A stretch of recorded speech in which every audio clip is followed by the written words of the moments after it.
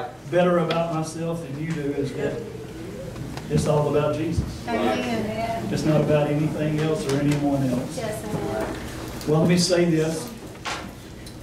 Some of you were here Wednesday night, and I got to share just a few minutes. Sister T. Turn it up. It may be me, I may not be talking loud It's enough. okay, it's not all time back there. Well, I was, I, I was saying, I wanted to tell you guys this, some of you were here Wednesday night, some of you may not have been able to be here, but I want to tell you that my wife and I, Christy, we're very grateful to be here with you now, not just visiting, but we, we're here. Yes, amen. And I also said this Wednesday night that we've always known that you guys uh, treated us and viewed us like your family, and that's one of the things that's very, very important to us, and so we're grateful. And now I can say a slightly different statement than I got to say before. I told you guys through the years I've known Brother David and Sister T, and that he's been a pastor in my life, but now I can say like you can, he's my pastor. So, so I'm grateful that God has allowed us to be here. And uh, as we go forward and the new things that God has for us, we'll have you guys uh, informed and as connected and as involved as you want to be. But again, we do want you to understand that we love you guys, and that's not just words that we say casually. I, I don't do that. So we love y'all, and we appreciate you letting us be here with you. Yes, We're amen. Praise the Lord. Let's do this if you want to. I know we usually stand and I understand, I, I get that, but if you will, have a seat for just a minute, if you don't mind. I want to ask you a question. I want you to think about this because when I say what I'm about to say to you, when I pose this question, we'll have various opinions and ideas. All of us will. But here's the question. What do you crave? Yeah, Think about that for Yes, just a minute. I'm not necessarily, not that I would be offended if somebody spoke out and said something. I'm not necessarily asking it for you to say out loud, but ponder that thought. What do you crave or, or what are you craving? Because there, there is a craving inside of every one of us. The, well, I'll use a slightly different word. There's a longing inside of every Right. one of us for something or someone or some place or some purpose or whatever. But I really want to focus in on that right there about what are you craving. Here's a here's a verse I think that'll help us put it into a little bit better perspective. You'll be familiar with it, most of you. I'm pretty sure we call it the Sermon on the Mount. Yes. That's where it's from in Matthew chapter 5. Verse 6 says this Blessed are they, or blessed, whichever you prefer, are they which do, listen to this, hunger and thirst after righteousness. Why? Yes. Why? Why does he say you're going to be blessed if you hunger and thirst? He tells you why. What's the end of that verse say will happen? Shall be filled. The end result is you shall be filled, right? Yes, sir. If you are hungry and thirsty, you will be filled. That's a promise. That's not, that's not based on something Glenn or any other preacher or teacher or whatever. That's a promise from the words of Jesus. Some of you guys have those Bibles that have the words of Christ in red. That's what you'll find right there. Those are words directly from his lips to our ears and our hearts that if we'll hunger and thirst for righteousness, we'll be filled. It's interesting. I, I often say this when I've been here with you guys just in a visiting capacity. I pay attention to all kind of things. In fact, I almost said I pay attention to everything, but I guess that wouldn't be fair because I might miss something. But I pay a lot of attention, way more than I ever say. And here's what I noticed this morning. You may have to roll it back just a little bit in your mind, and, but if you'll remember, there's several times through this morning when God was moving and ministering and doing what He was, that Brother David said some of these very things about hunger. He said that. He said some things about living, if I can put it in a, a simple term, living right before God, living holy, living righteous. Isn't that interesting? Because when he asked me, would I do this service this afternoon, that was before this afternoon. That was before this morning when he asked me. Right. But because it's important to me that I'm on track with what the Lord wants to say and do, because I actually do. I really do ask Him when I get an opportunity. I'm like, yeah, but what do you want to say, Lord? Yeah. Right. Because it's really, it doesn't matter. It's really not going to be beneficial. Even get this and don't get sideways with me, but understand if we get up and just simply start saying and quoting scripture, that's really not going to do you good. Not because of the scripture, Come on. Right. But me just rattling off a bunch of scripture is not going to do you any good. Right. Okay? There's people that know, read, and can quote way more of this book than any of us in here. Right. Any of us. But they have, watch this. Come It's another thing that Brother David said this morning. They have zero relationship with the author of this book. So it doesn't matter how much we can quote. Yes. When you're out there in the community and you're out doing whatever, whether it's on your workplace or you're doing some kind of mission or ministry or outreach or whatever the case may be, Walmart, whatever. It's not as important how much scripture you can quote to that person standing before you. It is important how much you can share about the person Yeah. Yes. that wrote this book.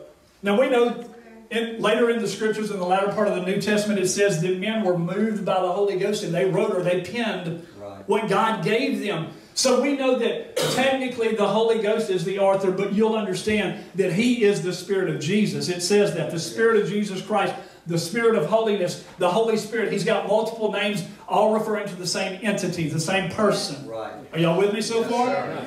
So what we want to do is we want to have an authentic relationship with that one. That when we talk about him, I'm not just talking about him, I'm talking for him. Right. And I'm sharing, I'm get. See, here's the thing. You can't give somebody something you don't have. That's right. Right? Right. If you ask me for $100, if I've got it, then I can give it to you. But if I don't have it, I just simply can't give it to you. Yeah. If you ask me for something from the Lord, if I don't have that, I can't give it to That's you. right. It's all Him. What do you crave or what are you craving? So listen to this. You guys know I like to do word study. So let's look at a few of these words in this one simple verse of Matthew 5 6.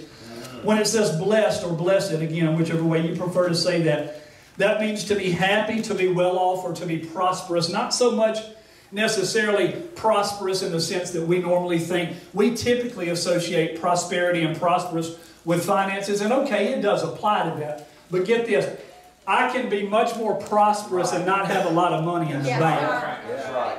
Now, I get it. It takes finances to do things in life, and it takes finances to do ministry, and it takes finances to, you know, take care of your obligations that you have at your home and, and your families and your children and all that. But that's not real prosperity, the, the finances, because here's the deal.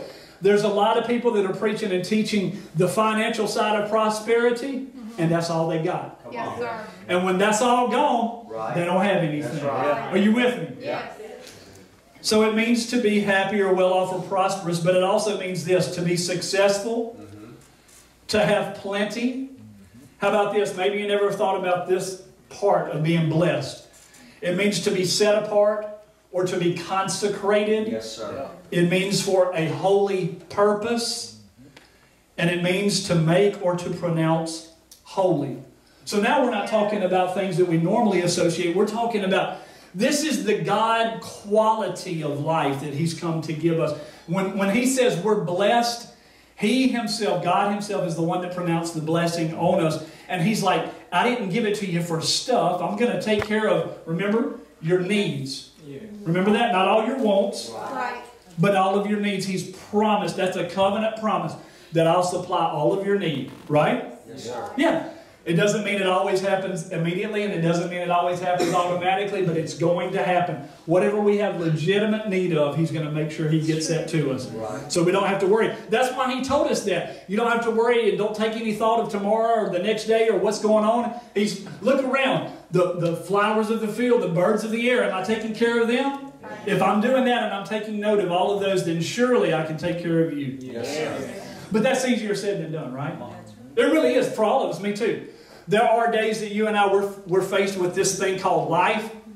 And there's a rub there, there's a struggle there because even though we know God's faithful, even though we know His promises, or at least we know some of them, it's the reality that when we're facing a, a need, sometimes that's difficult because that thing's screaming at us, that need is. But He's promised us, all I need to really do, here's my need, I need to get more of Him. Yes. That's right, that's good. If I have more of him, I'm going to be all right. Because the, the truth is, I might have been walking this out a little longer than some of you, and some of you have been doing it longer than I. But at the end of the day, here's the need. We need more of him. Amen. Yes. I'm never going to have all that I need of him on this side of eternity. Now, that's not because he's withholding himself from me or you. The reality is, it's me or you Yeah. that we're withholding ourselves from him. Man.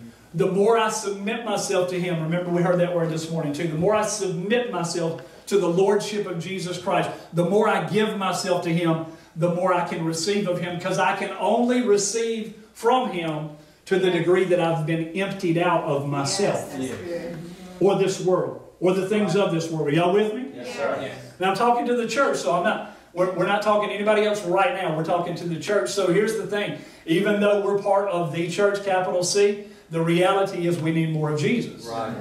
Because I dare say none of us are seeing on a regular, constant, consistent basis what some of these guys were seeing. Right. And there was nothing special about them other than that they just were convinced and they had it settled that I, I'm going to get as much of Jesus as I possibly can. Yes, sir. So what do you crave? How about to, to hunger? It means to want or to crave ardently, A-R-D-E-N-T-L-Y, to crave ardently or to seek with eager desire. Now listen to this word ardent. When it says to crave ardently, that means to, it would be to be like hot or burning, or that causes a sensation like burning or to have a fever. It means to have the quality or the appearance of like fire, or to have passion, or to be zealous, or something of that nature. So when it says that we're to hunger and thirst for righteousness, it says we're supposed to be like, we'll use this term that most of us are from, we need to be on fire. Right. Yes. Yeah. And again, I'll, I'll say it of myself and us. I dare say we probably all have a little bit more space to be a little more on fire for Jesus and the things of Him. Yes, sir. That's not putting us down. That's just a healthy reality check that I think is okay. Yes. I think all of us could probably say, hey, we're doing better than we once were. But here's the question but are you doing as good as you once were? Amen. Maybe, maybe not. I'm, I, I'm not the one that can answer that. Here's what I mean. Has there been a time in your life right now than before right now you were more focused on Jesus, you were more on fire for Him, you were more dedicated to Him, you were more intentional about Him? For some of us, you're going like this, and I'll do the same thing. You know what? Me too. Sometimes we do that. Sometimes it's not necessarily because of a sin issue. Maybe it's just we're just too busy. Come on. And if we're not careful, we'll get so busy that we get distracted. And that's one of the key tactics of the enemy. You know, the devil, the one that's always trying to get us, he's not always trying to just flat out kill us, although I think he, he would like to do that. But if he can just distract us, if he can get us Yes. off track, if he can get us to lose our focus on the main thing, which is Jesus himself and our relationship, a personal relationship with Jesus, then he's done pretty good because he's keeping us from going forward. Do y'all understand? Yes, sir.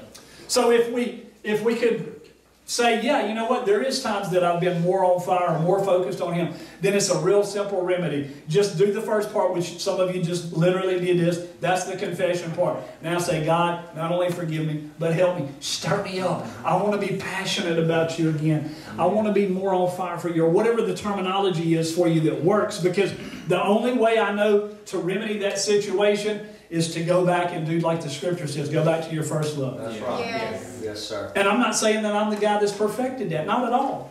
You know I don't do that. I tell you guys every time I've been in front of you, I try to be very real and very open and honest with you guys. I'm not somebody who's got it all figured out and I've got it all together. I'm just as messed up as you can be at times. But I do have my mind made up. I'm going to go after Jesus. Yes. And to the best of my ability, I'm going to do His will because that's what matters. See, at the end of this whole thing that we call life, I really am after one thing. I just want to hear, well done. Yes. I don't need anything else. I don't want anything else, but I do want to hear well done because in the Bible that I read, it says there's one of two things that we get to hear. Yes, sir. It's well done or depart. I refuse to hear depart. Amen. And that's not because it's not because I say I'm not going to hear it. It's because God made a way so I don't have to hear it. Yes. Oh, I want to hear well done. Yeah. I'm not looking for all these kind of uh, what, it, what it, uh, validation here on earth. I'm not looking for that. I don't. I don't care about that. I think it's right to give honor and to tell people thanks and be polite. And all, but I'm not talking about that. I want to hear Jesus Christ Himself. When He looks at me, the Bible says He's got these eyes that burn with fire, and He can peer right into the core of our innermost being and see even the thoughts and the intents of our heart. I want Him to be able to stand in front of me and me stand in front of him and hear, well, I won't stand very long because, I mean, once you That's see him for who he is, Yes. Yeah. Come on. you're, you're undone. Right. But I want to hear him say, well done, Glenn. You, you did what I called you to do. Not, not perfectly. I know he can't say that. I know that. But he'll, he'll be able to say, well done. Yeah. Amen. I want to be on fire for him. I want to have my heart burning. There's, there's uh, any of you guys ever heard of an older man? He's passed away a number of years ago, A.W. Tozer. Yes, sir. He, he wrote a number of really good books like The Knowledge of the Holy and uh, uh, with Knowledge of the Holy and um, That's a good one to start right yeah. I'm trying to remember the other title at the moment. Anyway, he wrote a, a number of books, but here's the point. He, he kind of made this statement and said something regarding the fellowship of the burning heart. I'm like, yeah, that's, that's what I want to be part of, part of the fellowship of the burning heart. And what he was referring to is, you know how, for instance, you know how when Jesus is walking on one of his travels and it says that he comes across a couple of people Yes. and they didn't really recognize, I'm just putting it in everyday terms, is this okay? He comes across a couple of guys, they don't really recognize him for who he is. Later on, they're having a meal together, then he breaks bread, and it says in the moment that their eyes were open, they realized who this was. And then they reflect on the conversation that he had with them as they're walking on the way. And they said, Man, didn't our hearts burn within Yes, us? Yes, sir. Yeah. That's what I want. I want when Jesus speaks to me, I want my heart to burn. And I want it to be to the degree that I've got to, like Jeremiah said, it's not something I can hold inside. I want to share that with others. Not not because I'm trying to be somebody or do something or have my name out there, but I want it to be about Jesus because He has truly been so good to me Yes, that I do. I do have an obligation to share Oh, Him. yes, sir. Yeah. I, I'm indebted to Jesus because I don't deserve any of His goodness. Most of you now know that's, that's something that I say pretty often. I'm doing better than I deserve, but that's because it's 100% true. I'm mm-hmm. doing much better than I deserve. If I got what I deserved, I would have been turned away from Him forever. He would have put me in hell a long time ago. He would have been just in doing it. In other words, He wouldn't have been unfair. Right. He would have only given me what His Word says was going to be my consequence for all my rebellion and my sin.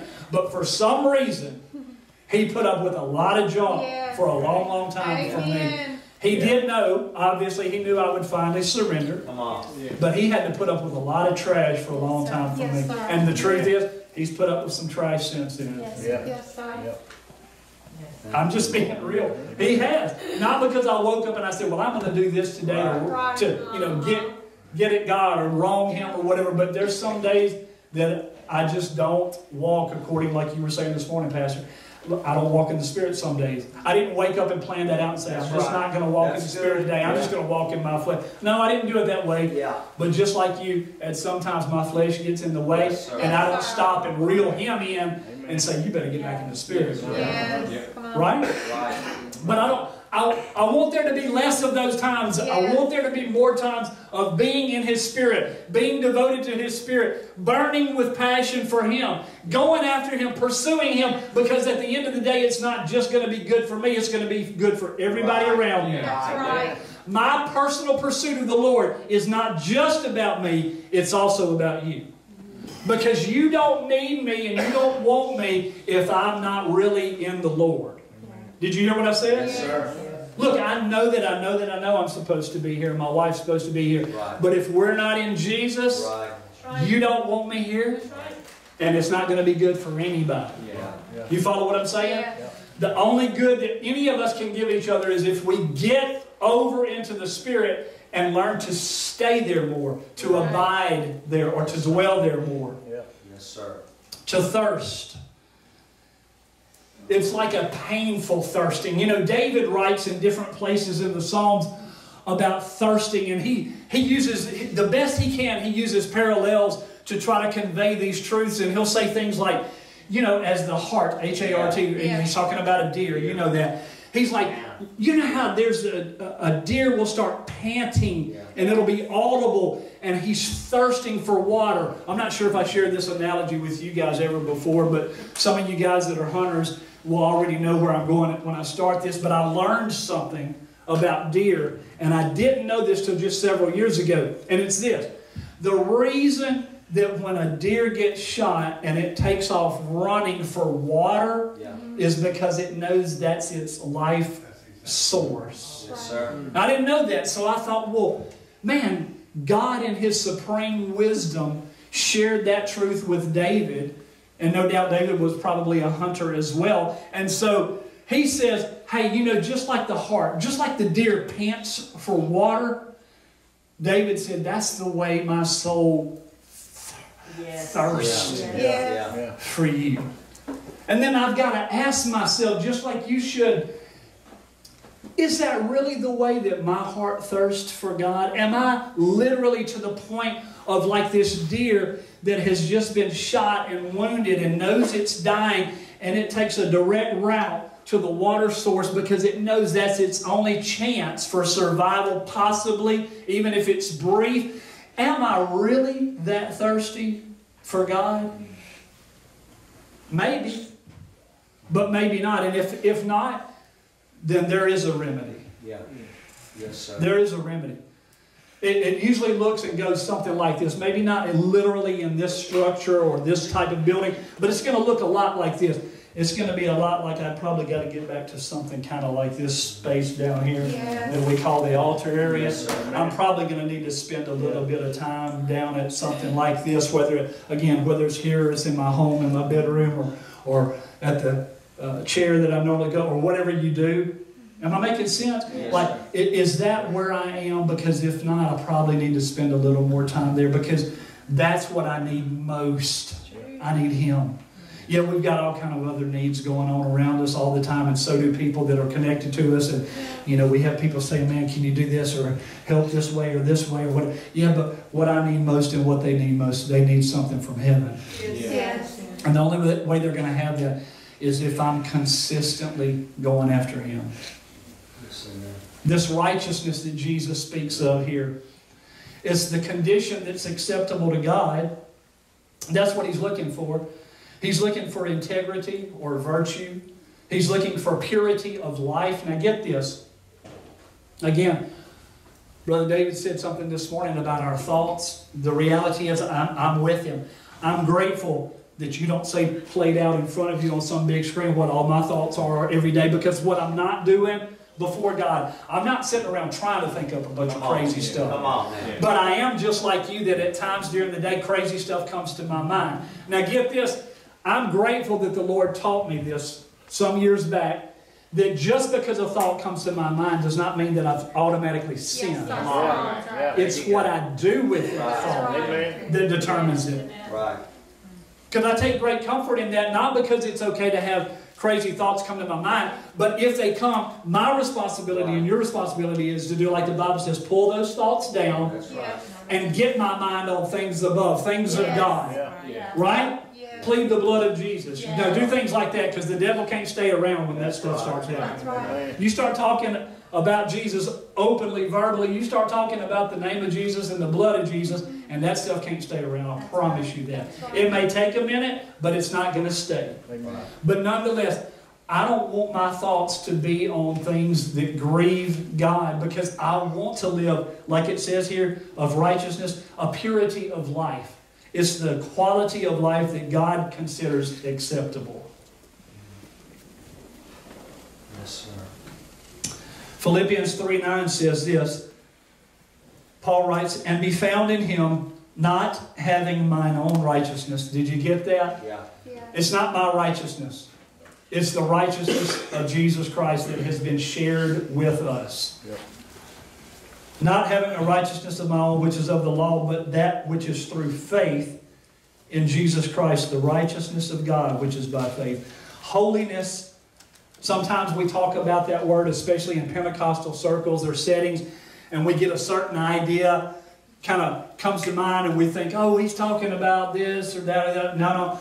I want to give you a whole different definition that's more biblical. Holiness is a person. His name is Jesus Christ. Yes. That's what I want to talk about. Yeah. Because all the other stuff that there is a there is a time and a place for other things that are called under the banner of holiness. You know, like we'll just use one, like modesty. Okay, I'm 100% down with that. But just because you quote unquote dress modest doesn't make you holy. Right. That's right. Because you may still have a wicked heart and a foul mouth. Come on. You hear what I'm saying? Yeah. I'm not accusing anybody of anything in here. I'm just stating a fact that modesty is very important and good and it's godly, it's, it's, it's respectful. But that by itself is not what makes me holy. What makes me holy is a person and his name is Jesus Christ. And if I've got him, then guess what? I want to do those other things. Yes. Yes, amen. I want to be modest. I want to watch my mouth. I want to live in a self controlled manner. Why? Because I got the person of Jesus, which Yeah. he himself is holiness. Yes. Is that making sense? Yes. Here's the goal. Ephesians 4.13 says, till we all come in the unity. Where did we hear that? I thought I heard something about unity this morning. Surprise, surprise. So here it is again. Till we all come in the unity of the faith and of the knowledge of the Son of God unto a perfect man, unto the measure of the stature of the fullness of Christ. Sir. What? Till I come to the fullness of Christ. See, the fullness has already been given available or made available to us, but we may not be walking in that yet. Mm-hmm. And I would say probably none of us are yet, but we should be on our journey and we should be making progress because that's what God is after. He sent Jesus, yes, to die for our sin, yes, to give us a way out of hell, yes, to do those things. But He also sent Jesus so that we can have His fullness in us and He can be expressed through us because on the earth right now, Jesus can, and He does at times, literally appear and reveal Himself to people. But when He does that, He is in a single place at a single moment. Are you with me so far? Yeah. Jesus can walk the earth still like he did at one time. But when he does that, he can only reveal himself to one person at a time in that regard. But what he did do was he made it possible for us to be a representation of Jesus all over. Are you with me? Yeah. It's, it's the reality that Jesus wants to live his life in us and through us so that people can ca- have a contact with the person of Jesus. Not that we're replacing him. Nobody's that foolish, I don't think. We're not going to replace him. We never have, never will. But we are supposed to be a representative. When it says Christian, it means Christ Right. like. I'm supposed to be like Jesus. Mm-hmm. And there's some parts of me that aren't, and you too. Mm-hmm. But we are supposed to be making progress. Amen. Blessed are they, or blessed, whichever, again, which do hunger and thirst after righteousness, for they shall be filled. If you'll go ahead and get ready, brother, I'm just going to go ahead and wrap this up. I appreciate it. I want to ask you again what are you craving? What do you crave most? Here's the reality. Some of us may not would want to even answer that question out loud at the moment, and I get that. I'm not trying to make anybody feel uncomfortable, but it's just, you know how you can know what you're craving? Watch this. I'll give you a real good answer to the question. I'll pose the question and I'll give you the answer, and you don't have to say nothing, okay? You want to know what you're craving most? It's going to be primarily what that thing is that you first think of, or look for, or do, or reach for, or whatever in the morning. Right.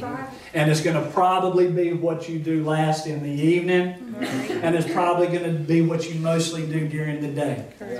Are you with me? Yes. So then you can say, okay, well, let's think about that. What am I craving? If that's true, and I believe that's a fair assessment, it's whatever I think of, usually first, last, and throughout the day, mostly. Mm-hmm. So then, if that's the definition, I think that's a fair definition, then that'll tell you what you're craving most, and that'll help you find out hey, am I really craving Jesus? Mm-hmm, yeah. Am I really passionately pursuing Jesus? Maybe, but maybe not. I don't know. But I know me. I'll tell you of me. Mine needs to be better. Yeah. Right. Me. My pursuit of Jesus needs to be better. Because there's been times where it's been more focused or it's been more uh, uh, directed or however we need to say this. And then there's been times where maybe I haven't done so well also. But I want to go. Here's the thing at the end of this year, because, you know, I don't know about all the whole thing with New Year's resolutions and all that kind of stuff. I'm not saying it's bad or wrong. I just, I think typically that doesn't go so great for most people. So, but what if we did this? What if we said, you know what?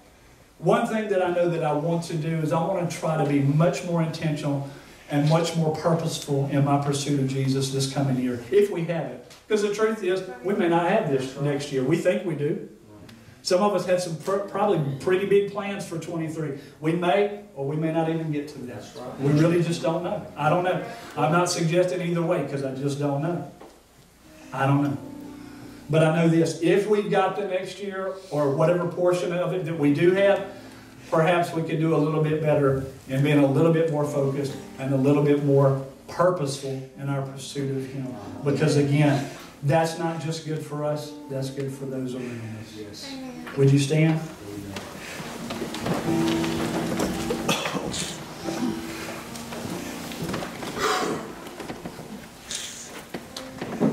Father, I do confess that there have been times where I've been much more focused, and I ask you not only to forgive me, but to help me and stir me even more so for pursuit of you. God, that I would make the most of every opportunity to set aside time for you. Help me in that. Help me to be more disciplined in that, God. But I ask the same for my family and my friends here as well, God, that you would do that and that we would be people that actually, as your word says, hunger and thirst after you. That we would crave you more than even our necessary daily bread, that we would crave you, God. That we would go after you. God, help us to be ones that have the burning hearts.